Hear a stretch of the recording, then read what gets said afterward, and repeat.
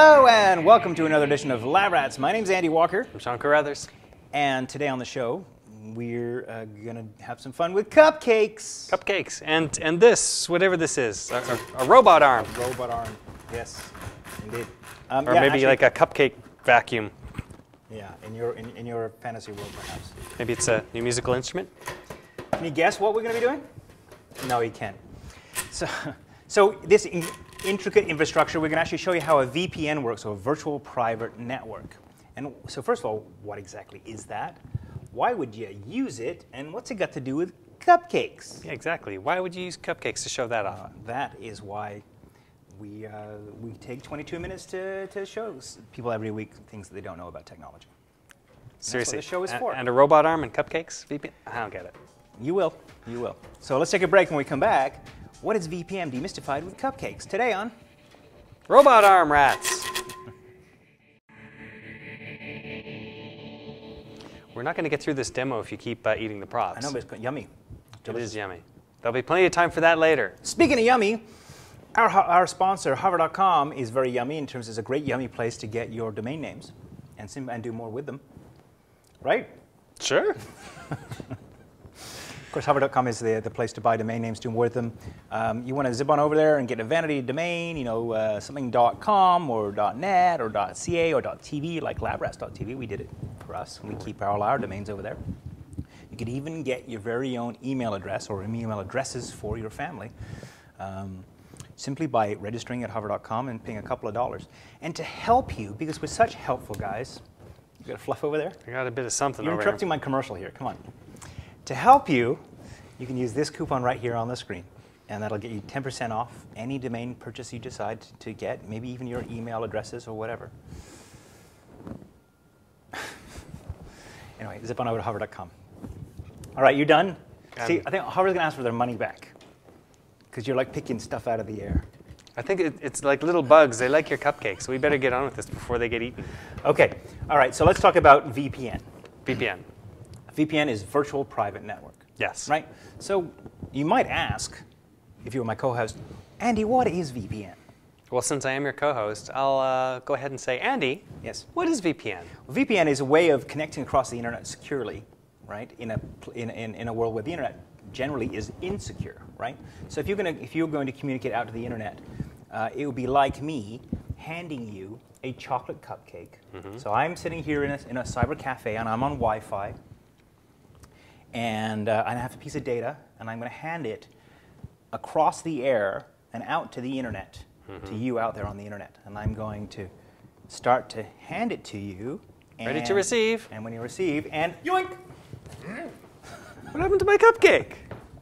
Somebody's going to come along and grab your cupcake and make a funny noise like, mmm. And now somebody knows your cupcake recipe too. That's right, exactly. Did you like it? Was it very good? Did you go for the really budget ones or what? For a discount. You know, come on, we It's are. horrendous. Thank you, Matt. So it's like that. So you can be handing, so you're basically handing off data into the space, and anybody can grab it and consume it, like Matt, like a discount Not, not that they would want to, apparently. want to. But that could be a password. It could be, you know, uh, your personal information. It could be anything like that. Do you need something to wash Are your you mouth gonna out, okay Matt? I'm okay. I'm good. You So- have some dirty personal information. I don't like this. Sticky and chocolatey. So um, some people might think that you know, if I, especially if you're like if you're traveling around the world, you're in a, cyber cafe, or you're connecting at an airport or whatever. You really have to be concerned about perhaps your personal privacy. Now, most people don't worry. You know, if you connect to your bank, you're connecting securely anyway to one of those HTTPS servers. Right. So it's creating a scrambled connection between you and the, uh, You and the- website. Right. So when you're shopping, that's already happening. When you're doing banking, that's already happening. But if you're logging onto a website, um, you know, like any other website, a subscription website like Netflix, that information is not going to be obscured. Right. So somebody could come along and grab it. Right. And so what a VPN does is basically create a secure connection between you and the third party who then acts on your behalf on the internet to receive data. Right. Sort of like this. Right.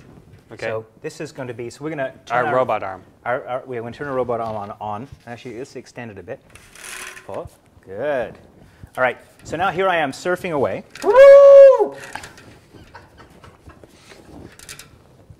That doesn't help. Um, and I'm going to, uh, I have I a, don't want one of those cupcakes. Those are apparently bad. I'll get the, uh, the nice vanilla one. All right. I'm here to steal your You're yummy here. data. And so what happens is I'm going to hand this off to you, and get my cupcake. You can't get my cupcake. oh darn! You I can't can't get my your cupcake. yummy cupcake. That's right. Oh darn. Matt hates. Almost uh, got him. Right. So what's happening? So so anybody who comes along and tries to acquire your cupcake osity will fail miserably because you'll be protected by this shield. You can hold this one back. You didn't like that one? Hey, easy, easy, easy. See? Yeah. And so what happens is, so now I'm giving you data back and forth through the secure connection, and um, I'm trying to explain something. I something. give here. up. Go away. and, and and so nobody can get at it. Make sense? Yes, I think You're so. going to be okay. Now, what happens is that proxy at the other end, you have a secure connection to, then can act as your, on your behalf on the internet. So there's a couple of really good reasons for doing this. One, yes, secure data, mm-hmm. right? Especially when you're doing you're dealing with, with Wi-Fi. But number two, you can also, because you're a proxy, mm-hmm. meaning you're somebody I'm connecting to securely, you can represent me out there on the internet. Mm-hmm. So some people will use this, for example, to represent themselves in a country outside of where they live. So if you're in the States and you want to uh, VPN into the UK to appear like you're a, a British user. Right. So you can get BBC content, for example. Or here in Canada, we want to go, you know, often we go to CBS or NBC.com, try to consume stuff, and it says, sorry, you're a Canadian, you can't see this because they want to sell it separately, separate license to us Canadians. I hear a story that uh, that our pal Patrick Norton actually VPN'd up to Canada so that he could see curling up here. Right. I don't know why Because we protect would- our curling information? Yeah, I don't know why. There's not a lot of reasons to uh, to uh, VPN into Canadian content, Right. but uh, that apparently is one of them. Yeah, okay, Where you go. So, so if you want to get that highly illegal curling information, curling video, um, that perhaps would compromise, uh, I mean, curlers' copyright? I don't know. I And You could VPN from the US up to Canada. I mean, so, so it's a, there's a secondary usage here. One Mm. is prote- protect yourself. Second is to represent yourself as a, uh, to, as a, a member of the country where you're connecting to so that you can consume data. And I know you've been interested in this because, um, for example, here at Butterscotch, we're based in Canada, in Toronto, and you want to go down to the States and actually um, consume Hulu.com content, all the other sort of cool services that are happening in the US. If we try to record that here in Canada, we get that statement. an error message that says we can't do it. can't so do yeah, it. we, we need to find a way to pretend like we're in the states Right. or tunnel in somehow. Tunnel, that's what. Now, now Hulu is, is one of those things. They've, they've locked it down pretty good. So a lot of the very popular services that are out there for hotspots, they, they're sort of wise to that. Mm-hmm. But there's a, if you're doing it through a work business and you actually are a legitimate uh, work facility on the other side of the border as well, and you can tunnel through there, you can get around it that way. But uh, yeah, obviously that's a, a major, major reason why people would do it. Right.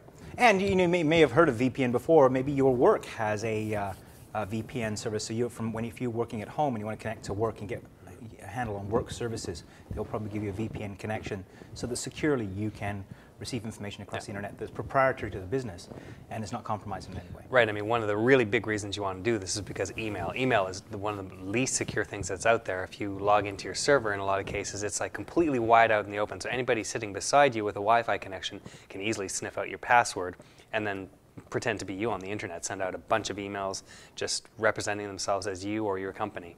Very, very insecure. So yeah, that's one big reason. If you're in the airport lounge, you do want a VPN through to your company so that you can't have that sniffed out. Right. Very good. So, you know, as my co-host, you might ask as well, how can I get a VPN connection? Andy, how can I get a VPN connection? Well, you could talk to your company, for, for example, but most people may, may not have that luxury. So uh, they can use a third-party uh, VPN service. I uh, happen to come across and have been using Surf Bouncer here on my computer. Now they charge by the uh, day of the week or the month.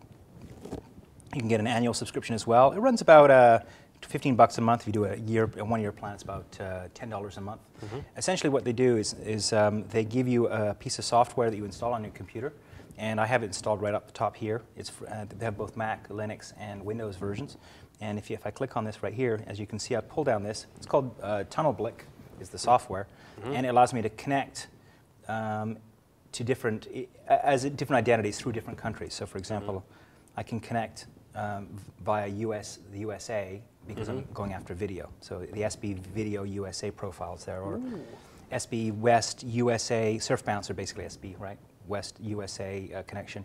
Um, perhaps I want to get into Germany or Canada. There's one for Canada as well, so you can represent yourself as a Canadian.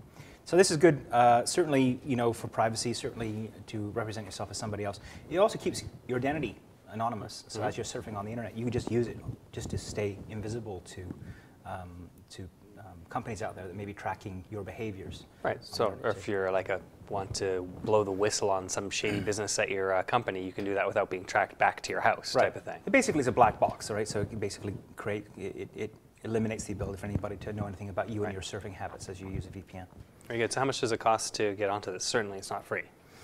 No, no, no. So it's uh, five bucks a week, or ten bucks uh, a month uh, on a year plan, and uh, I think it was the monthly plans 15, 14.99 uh, per month, that sort of thing. Yeah. Now, if you, there are some um, services uh, that are considered free, there's something called iPig um, at iopus.com, um, which uh, some people um, like to use. Opus was a penguin, not a peg.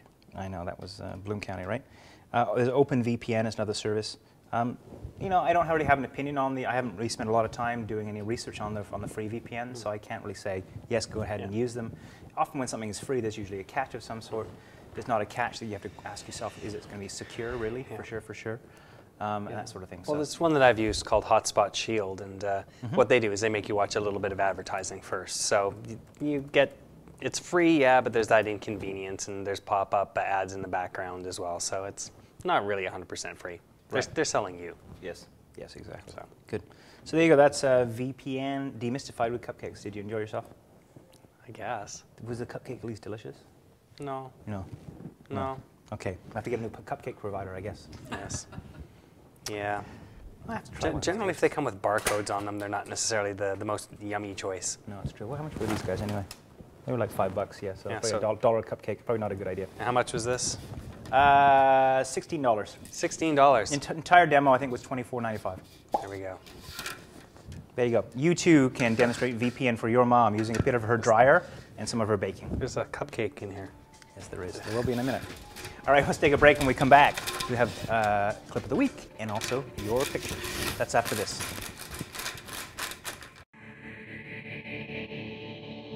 Well, it's funny that uh, you mentioned. I got a cupcake in my throat here. Yeah, it's all over. Disgusting. All right. Funny you mentioned Hotspot Shield. Turns out Miss Download's actually done an episode on this on uh, on this product. Yes, it is uh, partially uh, partially software based. So you download part of the, the equation. There you go. It's a VPN software, would imagine. Yes. All right, so uh, on the clip of the week this week, we're going to quick take a look at uh, probably 30 seconds from that. And, uh, and then if you really love it, you can zip on over to butterscotch.com and see the whole episode and find out all about Hotspot Shield. So let's take a look at that right now. Welcome on deck. I'm Matt Harris. Hi, I'm Jay Goldman. Welcome to the A-List. Hi, welcome to Miss Download. This program works on both hard lines and wireless connections. Hotspot Shield is aptly named because it boasts protection in Wi Fi hotspots like coffee shops, also hotels, airports, and corporate offices. It creates a virtual private network, a VPN for those of you who are tech literate, between the internet and your iPhone, laptop, or PC. What a VPN does is it uses encryption firewalls and other security strategies to protect information like who you are. So if you want to see the entire episode of Miss Download and uh, Hotspot Shield, zip on over to butterscotch.com, uh, click on shows, and then go find Miss Download, and uh, or use the search engine. You'll find it, um, and uh, it'll be exciting. All right, Exciting as these cupcakes. as more exciting, in fact, as exciting as Picture Time, which is now. Yay! You have how many pictures this week? Mr. We have some pictures. We have three pictures for you. Fantastic. Let's They're all from our viewer Matthew. So first up, we have his cat Kaiser Soza. Yay! And Kaiser is uh, Kaiser had a bit of an accident. Kaiser only has three legs. Kevin has three legs. One, two, three. Yeah, the, the one there looks like it could be hidden, but Yeah. apparently Kaiser only has three. This could have been pre-accident as well. This is, uh, post-accident? I think, post-accident. Okay, I got it. So we also have uh, Matthew's dog, Jack. It's a corgi. Who has Honestly, four legs, which is good. Four legs is good. And we made this joke a short while back Yes. about please, please don't send us your X-rays, your Yes, surgeries, etc. Yes. Well, Matthew decided he was going to send us X-rays. Yes. So we have one of uh, of uh, Kaiser, I think. Here. So we've got uh, two legs in here, two paws. So there you go. That's great. See, I just think that's just cool. In fact, it was I prompted him. I said, "Come on, send us the." I know he said you don't want to see our X-rays, and I'm like, "Yeah, I do actually." Like we don't we don't want to see your X-rays if you have a nail through your head or something. Yeah, like we that. do.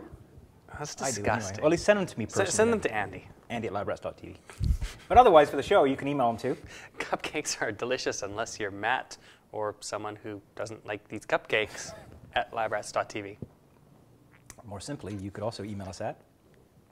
X-rays are awesome at labrats.tv. Yeah, or finally, Feedback at labrats.tv. It's the most boring address, but most utilitarian at least. I guess. All right, Sean. Well, thank you for humoring me this week with uh, VPNs and cupcakes. Thank you for humoring me with the robot arm. Evil robot arm. I think I'm, I think I'll actually replace one of my arms with those. It's a good idea. Maybe we should send one to Kaisa Soze. That's just that's not nice. Robot dog arm. No. Well, no, no, no.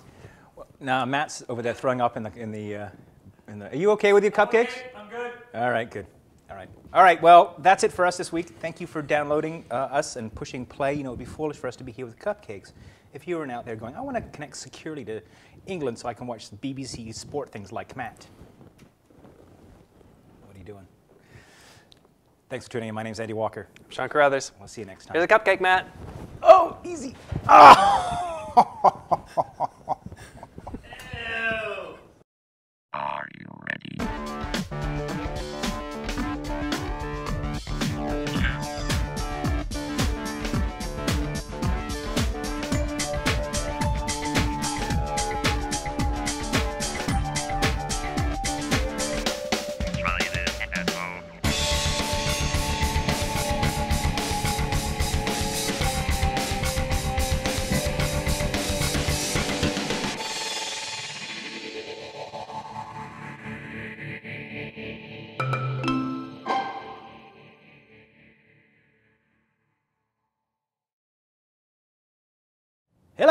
and welcome to another edition of Lab Rats. My name's Andy Walker. Sean Carruthers. And is my mic on?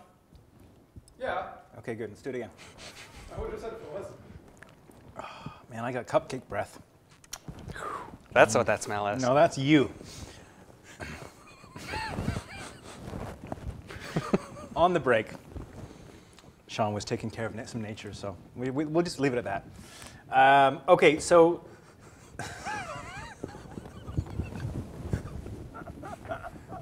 I can be honest with you.